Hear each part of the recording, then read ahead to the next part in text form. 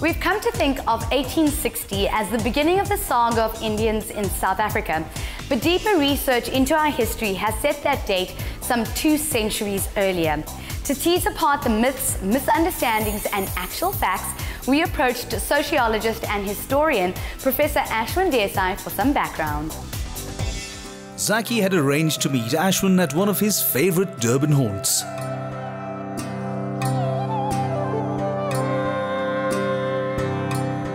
An avid reader and researcher, Ashwin has, both in his own right and in collaboration with fellow academic Professor Goolam Vahed, authored a number of books chronicling the early Indian experience in South Africa.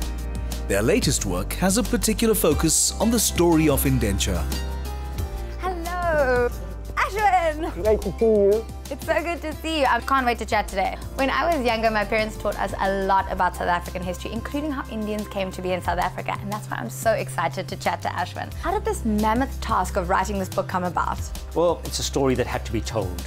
And one of the challenges for historians is to take stuff out of the archives and bring it alive to a reading audience. And once we got into the archives, looked at the letters, looked at the court records, we understood that indenture was an epic African journey that continues into the present. I would love to see the book. Let's go. Ashwin, what inspired Inside Indian Indenture? From my mother's lap, she always told me stories, where she came from, the life they lived, and I always wanted to dig back further and further. It must have been quite a journey of discovery. Every day in the archives, a new revelation, a new inspiration and I felt like a child. I just wanted to be back in the archives, looking at more files, telling more stories. It made me think about their lives in new ways because the system, remember, wanted to turn them into numbers, a people without history, a people who didn't know where they came from. And every day they changed that and confronted that and turned themselves into real living human beings with a past and a future, trying to have a culture that they could hang on to to survive a system that was a new form of slavery. Ashwin, for you, what are the most memorable stories? The one of people who never made it, they came across in the ship, but because of the situation on the ship and the circumstances in which they found themselves, many died of malnutrition, and some were imprisoned on the ship. And one of them was a woman called Munyama, and she was chained. She had messed herself. She wasn't allowed out of a cell, and eventually, one of the indentured just heard a sound in the water and either she had escaped and committed suicide because of the humiliation and the oppression, or she was pushed overboard by the captain or one of the sailors on the ship. She'll just be a footnote in history. What we do in our research is try and retrace her story by going through the court records of the case that was held in Durban. And of course, once the case was held, nobody was found responsible for the death of Munyama.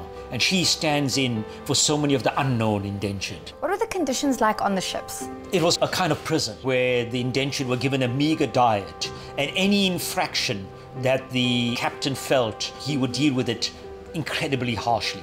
So there was a thing where a woman would have a placard around her saying, I'm a pig, or a potato was shoved into somebody's mouth and they had to walk around the ship. And the Lascars often exploited women in the ship who were defenseless.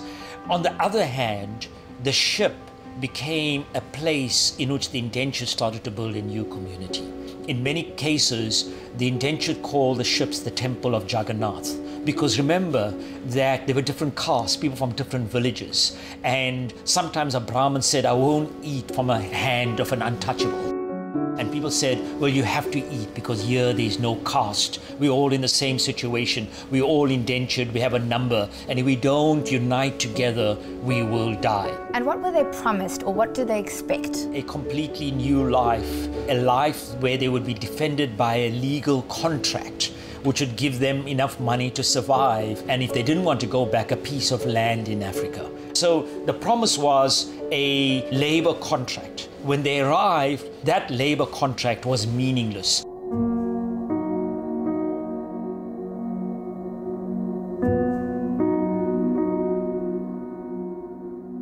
How has going through this journey affected you?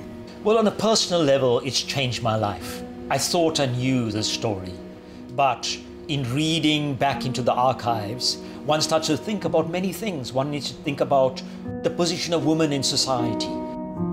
Today, people are talking about the oppression of women, the woman's places in the home, and so on. And I want to go back and tell them, well, there were women who came alone here and built lives, and they had that kind of strength. There are people who are still talking about caste, but they couldn't be caste amongst the indentured because for every five men you had have one woman. And if you didn't marry that woman, you'd never marry in your life. There were, there were gay relationships amongst men, and yet today the community wants to deny those kinds of things. So for me, history is not only about the past, it's how you read it into the present circumstance. And therefore, the story of indenture is a real living story because it instructs us, it, it makes us rethink all the prejudices we have in the present. And so when people even talk about racism and people being inferior or, or, or superior and so on, go back to the story of indenture and see how people were treated there and think whether you want to be part of a system that treats people in similar ways. I can't believe that my history is actually between these two covers. Well, let's go and uncover it. you have a chapter called When the Coolies Made Christmas. What is that about? Well, that's, that's an incredibly interesting story. The only time they were allowed off plantations or the railways was to celebrate Muharram, and the whites call it Coolie Christmas, and it was three days. And no matter what religion you were, you came into the center of the city, you had tazias, you had floats, and people almost divided up into gangs where they competed with each other. And it was the only time indentured met other indentured. So you can imagine sometimes people who hadn't seen each other from four or five years since the time they were separated on the shore, would meet once a year. What about religious and cultural expressions? This was one of the most powerful things of indenture. When we wanted to understand how the indentured survived in an atmosphere of semi slavery, they built small temples, mosques, churches. And these not only became places where people went to pray, but they became community centers. And out of these temples were small schools. And out of schools, the indenture demanded that the children learn English because many already knew they were never going back to India. And if they were going to make it in the white man's economy, then their children had to have an education to be able to read and write. Ashwin, you not only have a collection of amazing stories, but you also have awesome imagery. One particular photograph is just about six mug shots of indentured, their faces, all men, just their numbers. That's as they arrived on shore and they were basically being told, You have no history. And one of the powerful and moving things for Goolam and I was to trace back those numbers and give those indentured names once more. Another one is of a woman just after the 1913 strike, and her husband had been shot dead. And there she looking into the camera with her daughter. And I always wondered in the 1913 strike what happened to her, but what happened to her daughter, and what kind of lives they had. Because if your husband wasn't working on the plantation, you would be put out of the plantation. And there weren't the kinds of social networks that could have helped somebody like this. The other is of the Munigadu family who walked from Dar es Salaam to Umkhuze. And there's a photograph of him and his wife and his children staring into the camera, thinking we're back in Africa. But most of them were repatriated back to India, and we don't hear about them again. And so we bring these photographs alive in the book and in a photographic book called Many Lives. Is it correct to think that 1860 is when the first Indians arrived in South Africa? At one level, indenture did start in 1860 but they were Indians arrived as slaves in the 1700s to Cape Town. Little is known about them. In a way, your question belies something even deeper because they struggled around identity. At some stage, they'll be referred to as Malays, then Coloureds, and then South African Muslims. So we see very early on how people trying to react to identities that were imposed upon them by the British and Dutch authorities. Ashwin, what are some of the most important missing links of our history that should be filled? There's so much to be written about the Indian community. To the ordinary teachers and doctors and lawyers who did so much to weld this community as a defensive mode, not to be rolled over, but also as an offensive mode to confront the strictures of apartheid.